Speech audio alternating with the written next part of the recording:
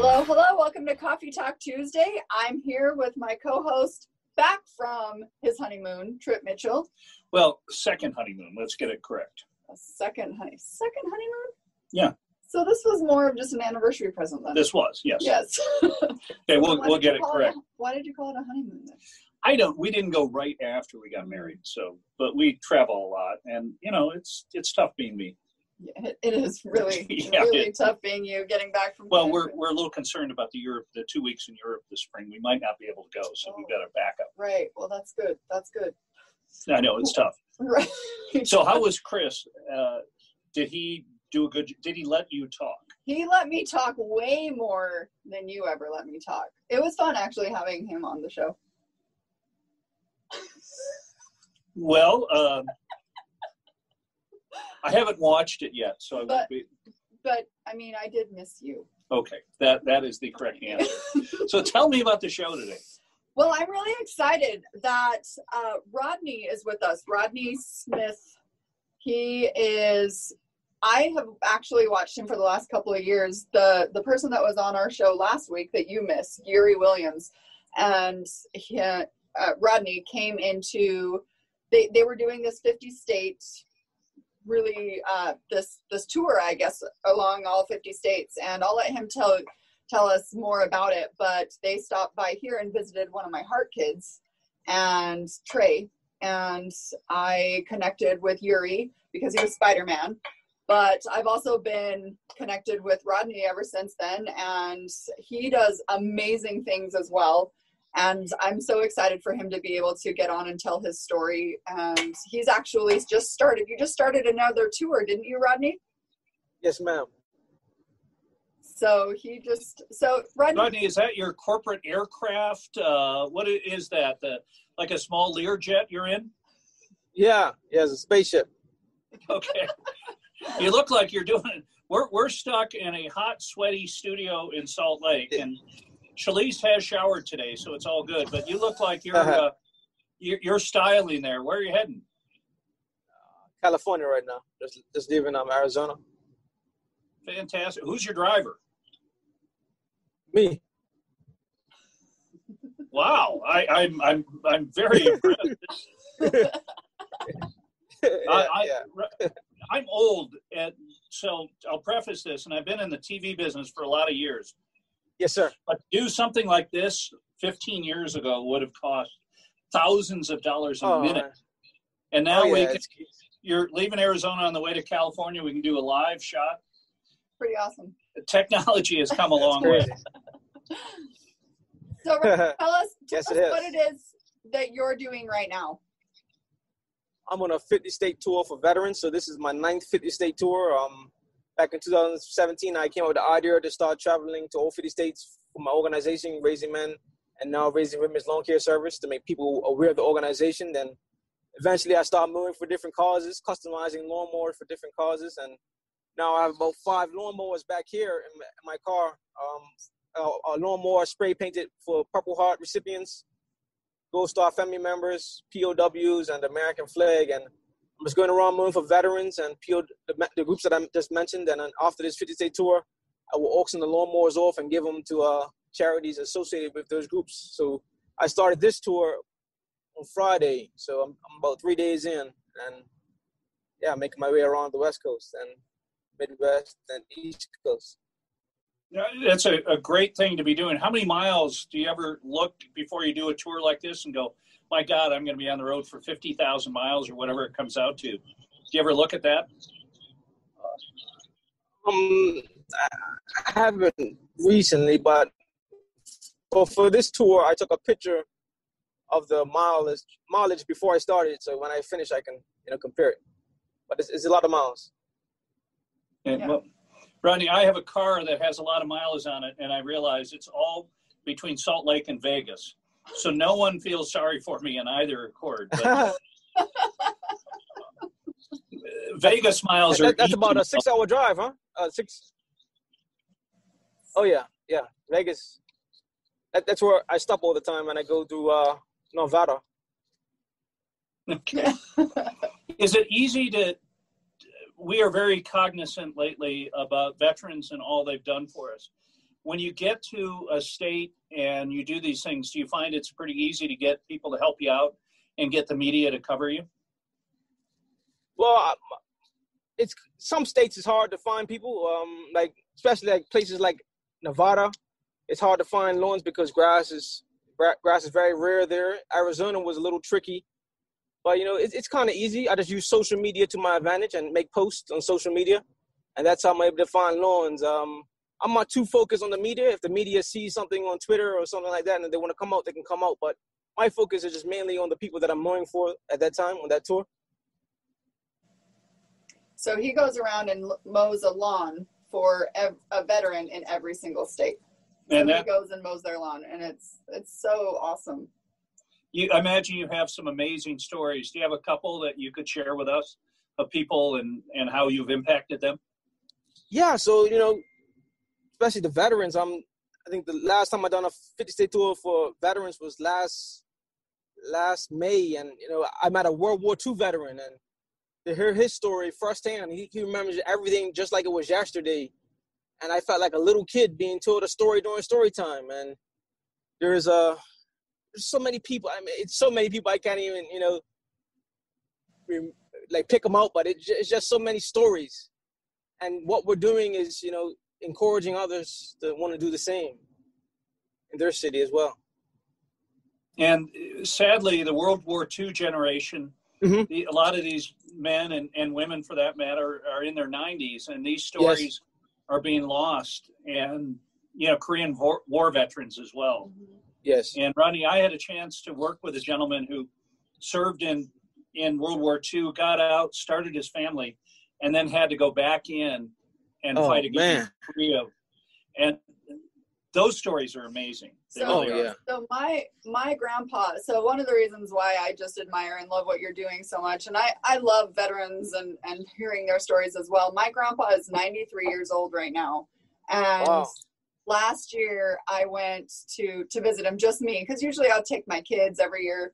And last year, I went just by myself and got to record him telling some of the stories because he's getting older and so some things are getting fuzzy and everything like that but i just he was in world war ii and korean war and everything like that. He left on a tour to uh, taiwan for a whole year when, oh. from my and and my my dad and my two uncles had to leave for for an entire year during that time. So he's got some stories. So i just love hearing the stories as well and so. Yeah, I, I, I think it's important because like when I when I interview every you know it doesn't matter the old veteran or young veteran, everyone I talk to um I I do a little interview with them. I think it's important that you get to hear their side and why they decided to serve and and um, what it means to them to serve the country. So those types of stories are very important, especially with our older veterans that served in World War II and Vietnam and those those eras. Yeah. It is interesting to talk to the veterans of World War II and Korea, World War II in particular, because that was a war that everyone was in. You, you, mm-hmm. Everyone did something, and yes. then you juxtapose that with Vietnam veterans who were fought in a hugely unpopular war. Yep. Were not were not celebrated when they got home, and um, Lee, who's working on this show right now, is a Vietnam combat Marine. Okay. And uh, I am always intrigued by his stories. Yeah. Oh. And uh, funny enough, we had some problems with a show one time, and I was embarrassed for Lee because the hosts weren't very professional. They drank a lot and swore a lot and told bad stories. And I said to Lee one time, Is this embarrass you or make you upset? And he goes, No, after someone shot at me when I was 18 years old oh. in Vietnam, everything else is kind of pales in comparison. Yeah. yeah. Well, yeah. Lee has a, he goes up, Lee is not a young guy. He goes up and cuts his mother in law's grass every weekend. Yeah. So, okay. He's, he, he's doing it. He's doing it. That's, that's great. When, yes, I have am. you met many, have you met many women who've served? And I imagine their stories are a lot different. Yeah, most, most women that I'm, I have met, um, a lot of them were medics. Uh, some of them served, but they didn't go over overseas to get deployed. Some of them. Uh, there, there have been some that have been deployed, but most of them, you know, were just stationed in a, at a base or something like that. But yeah, there's some like a, a lady I met yesterday in uh, New Mexico. She was a medic, and I believe she went over to the Gulf War or something like that.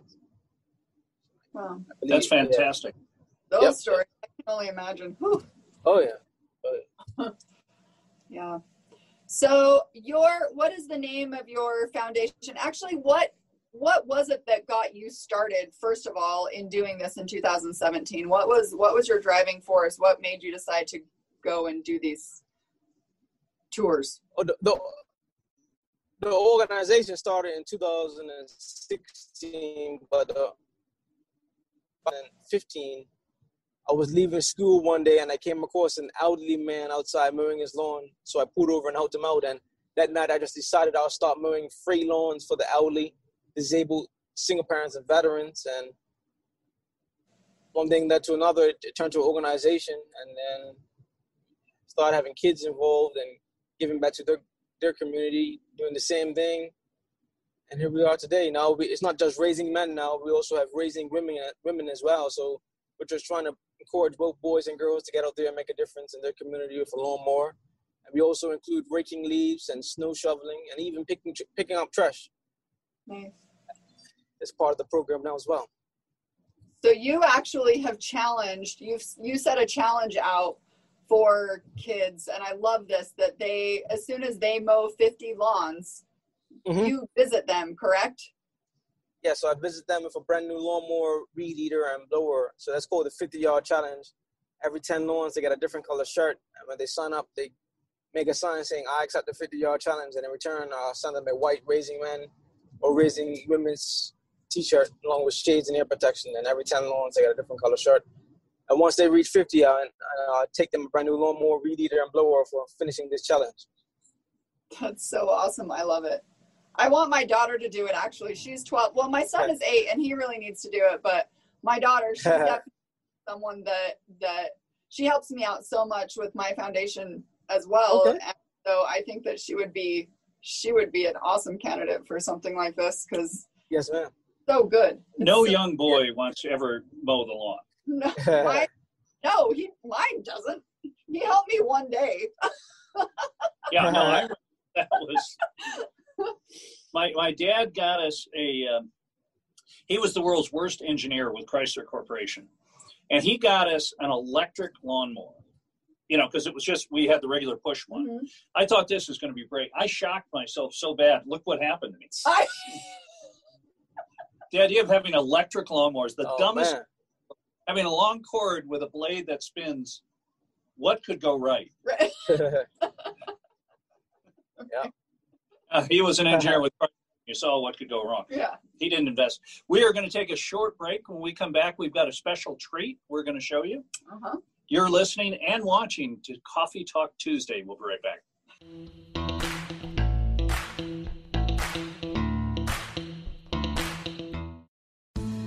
In summer 2004, as a four year old Caleb's body emerged from an overcrowded water parks pool in Utah, every mother's worst nightmare became reality for Chalese Stevens. Would healing ever begin? Without an answer, she experienced truths about deep loss and grief's throttle. By age 40, she awakened to joy and motherhood. Finding 40, available on Amazon and wherever digital copies are sold. All right. So thank you so much for watching Coffee Talk Tuesday. We're back from break. My name is Chalese Stevens. I'm here with Trip Mitchell and our awesome guest, Rodney Smith Jr. And I have a surprise for you, Rodney. I Me. actually sent my boyfriend out because he was going to the store and I was like, you have to buy this particular thing. And he came back Oh. with the last bag on the shelf of your smile Lay's with your uh-huh. name on it Yes, ma'am. and everything. So I get to How? First of all, what Oh. guy ever gets things right when they go to the grocery store? I know, right? I- uh-huh. I am I am O for my life. You know, I can call and check, but that now, Rodney, how did this come about? Liz just um reached out, I guess early early part of the year. I think someone might have nominated might might have nominated me for it, and they just went through the processes that, that they had, and then they told me that I would be selected to be one of the people, one of thirty on their on their bags. They got thirty different people across the country that do that are doing you know kind of good things in their communities, and uh, we'll featured on bags. So some are featured on two, some are featured on three, some are featured on four, I believe. So yeah. Yep, this one has the salt and vinegar one. which are my Yeah. favorites. And and so I'm giving this to well, I don't know. My kids might be mad if they knew that I actually gave this to you. They're not going to watch. Yeah, no, just give it to me. We'll Well, save right the here bag. at the studio. So. Yes, at the studio. And as Chalese walked in to do the show today, Rodney, um, Yes. I was eating out of a huge bag of chips, and she brought Yeah. that in, and I, I was so appreciative because I was almost at the bottom. And he's like, he goes, "You got a good quality," and I said, "You can't eat these yet." So she immediately went down. Who are some of the other people that inspire you when you go about doing this stuff? You know, uh, people who've been giving and, and in your life, and maybe we've never heard of them, but you have some stories about those type of people. I mean, people inspire me just like uh, you know, first and foremost, you know, God, you know, inspires me every day. But just listening to the motivational speakers, you know, that, that keeps me going a lot. That really keeps me inspired and wanting to get back. You know, guys like Inky Johnson, and they got a guy named Eric Thomas. Different motivational speakers that I listen to all the time while I'm on the road. Because when I'm on the road, most of the time, you know, I don't listen to any music. Uh, most of the time, I'm just driving and just coming up with different ideas. And once in a while, I'll put on a podcast or listen to some of those guys talk. That's that's what I you know enjoy listening to. But Yeah, know, and just seeing I- people doing good stuff make inspires me. You know, it's funny is uh, I used to do that when I was commuting between Vegas and Salt Lake, is listen to books on tape. Yeah, and they have wonderful speakers and uh, i my business partner on the tv station his nickname is short story long because he can take a 30 second story and do it for half an hour he should Oh, really wow. be. But- I was gonna say, you did you learn from him? i learned from him and then our engineer was Yeah. could never say a nice thing about anyone so i'm driving these guys back to vegas and i got the book by norman vincent peale how to win friends and influence people Mhm. i think that's the correct title That is. Yeah, and- Carnegie. and i put that Dale on Carnegie. Dale, Dale Carnegie. Thanks, Lee, for saving mine because I knew it was wrong. Anyway, how to win friend, friends Yes. and influence people, and I put that on the CD Mhm. to try to give these guys a little boost. They both fell asleep within a minute. Oh oh man. I I'm a I'm a motivational. Well, that's one of the reasons why we do what we do on Coffee I'm a Talk. motivational listener. Go ahead. I, you, I know you are. but one of the reasons why we do Coffee Talk is so we can highlight people in co- our community and then expanding to other communities that are making a difference. And I love I love listening to motivational stuff, especially in the morning. First thing, it's like just get up and go, and I I get all Yeah. pumped up. Oh yeah. I, i'm to- with you. And Yes, you know, in this digital age, you can you can get access to people with some amazing stories. And Oh yeah. yeah, when you Everything hear so close. Yep. you know, one of the challenges, Rodney, is if you watch TV at all, every commercial you see people who are 25 and look amazingly fit, and they're running marathons and they're drinking beer and they're using beauty products, and their lives are so perfect. They're driving great cars. The world doesn't work that way, No. No, it doesn't. and No, it doesn't. you know, the rest of us, all of a sudden, are going, "How come my life's not like that?" And sometimes you have to listen to someone eh, to get your head straight and tell you about real problems. Exactly. Well, and I, I believe that most people too that that are doing great things, and I'm sure Rodney that you have a story of of from your past as well. But most people that that do things that really put themselves out there have a story, mm-hmm. and they've had a lot of trials in their lives, and it hasn't just been all, you know, peaches and sunflowers. Know, Yeah. it's so that seems like the analogy I needed to use. Peaches and sun Rainbows and puppies. So, Rodney, what as you do this tour, how do you get up every mo- what motivates you? Uh, just you know, just looking forward to hearing hearing from a new veteran, you know, getting their story and sharing their story that, that that motivates. Every every story is different. Every you know, but the only thing that I find that's in common is that if you ask a combat veteran about their time overseas and if they would do it again, and each of them would tell you, you know, I would do it again in a heartbeat, no questions. You know, so you know, just hearing from people like that, you know, just motivates me. And I think it's important to uh to highlight our veterans. You know, give them give them the roses while they're here. You know, and so many people have served this country and haven't, you know, they they just stay to themselves. But I, I think they should be celebrated. You know, what they have done is so many. What they have done is given us our freedom and stuff like that. So I think it's important. It's, important to honor our veterans and and recognize them while they're here. Well, it takes a lot of guts to go and, Oh. and do that. I can't even. I I I remember when 9/11 happened, and I was like, I'm gonna join. I'm gonna join the army. I'm gonna join whatever I was gonna join. I was all. I mean, I had a baby, so it wasn't really something that I Yeah. I was ready to do. But I mean, at that point, I was I was wanting to do it, and but it it takes a lot of of courage. Oh, yeah. Oh, Corey, yeah, man. Like one of the veterans I met the other day, he says he enlisted. He, he was in the army. I think, I think he got out, and when once 9/11 happened, he went right back in. yeah. He said, "I got to serve. It's time to serve. It's time to it's time to strap my boots up, and that's that's defend our country." So you know, it takes a lot for someone to you know put their country before their own. Like they could be doing whatever they want to. You know, they can could have run a different, but they decided to you know defend the country. Yeah. So I met a gentleman in Mexico last week who Uh-huh. was in the Air Force, an academy graduate, retired from the Air Force, and now came back in, just like you were talking about. And he's now in Space Force, Oh wow! the newest branch of the military. And me being a smart aleck, I said, Have you seen the TV series Space Force, Steve Carell on Netflix?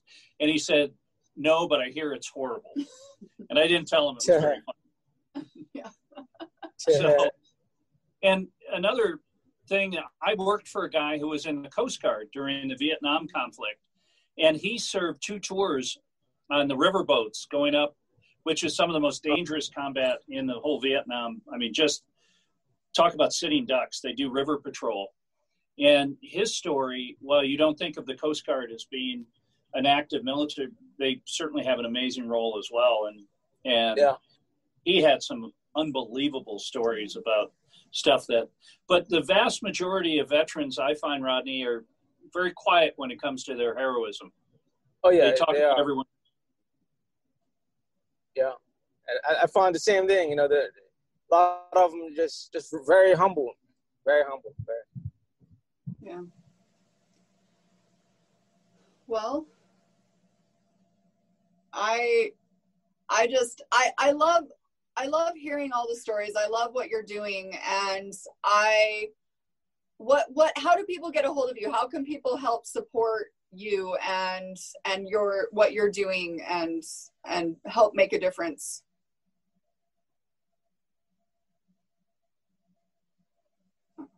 Rodney, did you freeze up?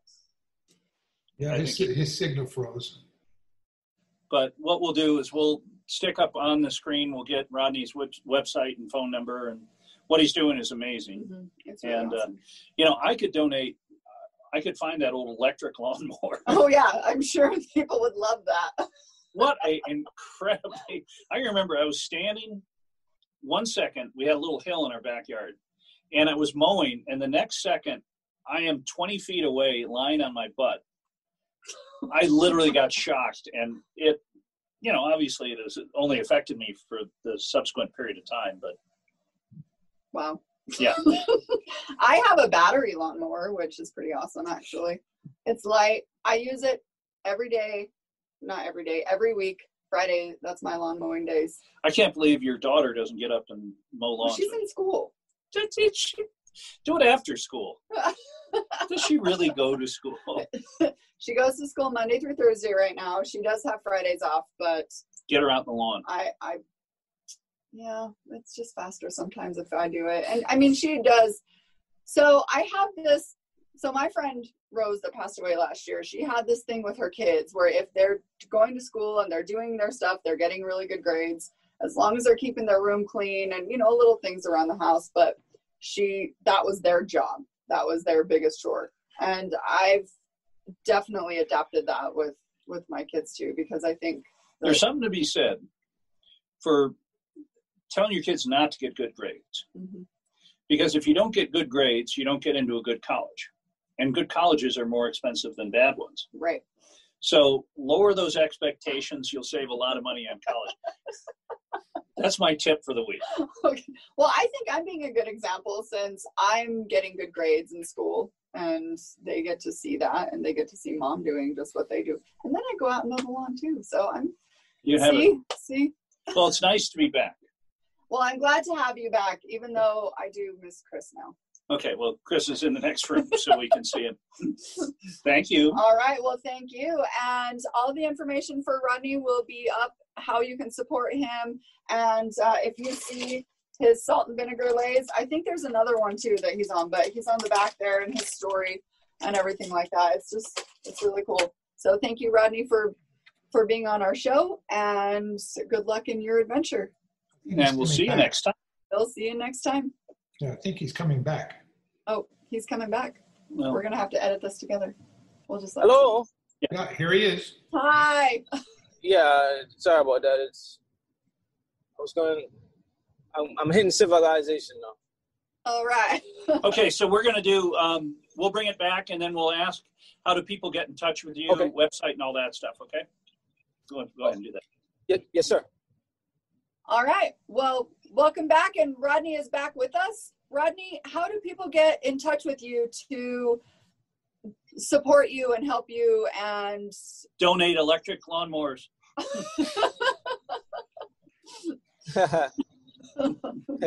yeah, so we have, we have a website at we have a website at weareraisingmen.com. Um, you can find us on social media, Raising Men Lawn Care Service. Um, you can find myself on social media, Rodney Smith Jr. That, that, that's the way they can contact if they like to. And and what other Lay's bags besides the salt and vinegar are you on so people can keep an eye out for them? I'm on uh, original kettle cooked. I'm also on cheddar sour cream. Never Awesome. had that one. Never had it. Oh no. Well, you're gonna need to get that then. Okay. Hey, Rodney, thanks so much for being on the I'm, show. I'm scared to try it. Scared to- Good Oh, thank you guys for having me. I really appreciate it. Well, you get your exercise uh, as opposed to me. Well, I actually played hockey this morning, so Oh, good. yeah, so I'm, I'm getting there. Hey, Rodney, thanks so much for being on the show. You're a hell of a guy. We're lucky to have met you. oh, thank you guys. Yes, sir. Thank you guys so much. Thank you so much. And when you're in Salt Lake next time, look us up and we'll go to coffee. Okay. Okay. All right. Sounds. it Thanks, sounds Rodney. good. All Thank right. you so much thank again. you. All right. Have All a right. great day. Bye bye. You too.